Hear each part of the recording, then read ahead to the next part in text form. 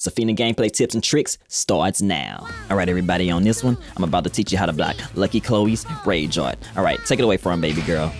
Here we go. Jump back while standing 1 2, up 4 1, 4 2 3, 3 plus 4, back 1, 1 plus 2 for the kill, baby. Now, I know everybody knows that Lucky Chloe is the best character in the game, but I got some tips to prevent her from beating the crap out of you. So when she starts dancing, pay really close attention to those pink boots. Oh my god. Anyways, sidestep 4 2 3 for the counter hit, cancel down 4 1, 4 2 3, 3 plus 4, back 1, 1 plus 2 for the kill, baby.